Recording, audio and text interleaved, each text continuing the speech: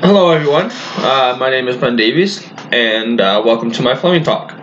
Um, so today we're going to talk about, a little bit about uh, women and male-dominated sports.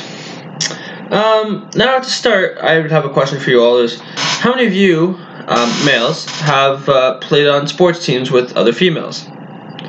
Now I ask the opposite for females: How many females have played on a males males uh, dominated sports team? Here's your question. Think about it. Now, to start off, personally, I would like to say that I have played multiple sports through my careers, and I have never had a female play on my uh, sports team, a competitive sports team. Now, I've played against a couple, and I've actually played against a whole women's sports team um, during my baseball career. There was a women's uh, national, actually provincial um, baseball team that I played against. Now, uh, thinking back, um, I don't know how many of you guys know, but male, uh, women were not involved really in uh, male sports back in the day, and still today aren't. But it is progressively getting better. Um, I know back in the 1970s there was actually con- uh, considered rules where males would go out, make the money, do the jobs, play sports, while females stayed back and lived at home, take care of the family. Unfortunately, that is a stereotype that uh, I personally, and a lot of people do not like to go by nowadays, um, as it is not really fair. Um, continue to this day, you still don't see females in sports, although we are getting there.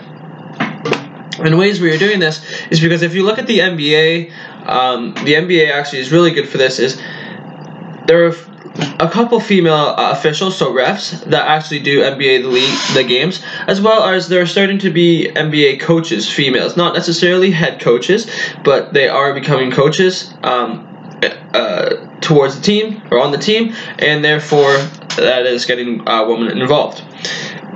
There is also other sports that are starting to hire some women coaches, um, and throughout head office, there's lots of women who work there, so that is good.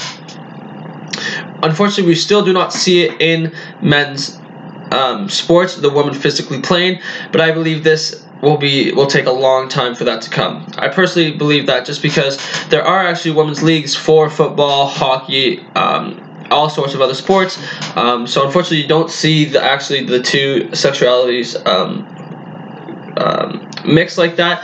Um, I don't. I personally I can't understand why they don't do this. I get that. I know a lot of females um, talk to us about how how we want how they want equal pay and equal rights, and I am all for that. Um, it is, I believe, it's just uh, most men don't want them to get hurt. Um, but as long as the females understand that they're okay with that and getting hit by a man not actually hit, but in the sport accidentally rubbing up against one another if they're playing hockey, or getting hit with the baseball if they're playing baseball, that it's not actually on purpose, it's just part of the game. Um, if they can understand that and they agree to that, then I am totally for women in, male sports. Um, and that is as well if the um, competitive levels there. Obviously, if they're better than the men, by all means have them on the team. Um, but again, it's the same with men. Uh, just make the team and you're on your way. So um, it's it's hard to say. Uh, basically, I couldn't tell you why uh, men or female are not in male-dominated sports. Um, it's sad to see, but I know it is um, getting getting better. As well as since the 1970s up until today, uh, in today's day and age, in the year 2019 it is progressively getting better, which is really good to see um, because it it, makes, it is all about equality. Um, as well as I know through media, um, it was uh, at first it was all pictures of men playing sports. But now if you go to your local local nike outlet or if you head to your local sports store you do see tons of advertisements with women involvement all sorts of racial too.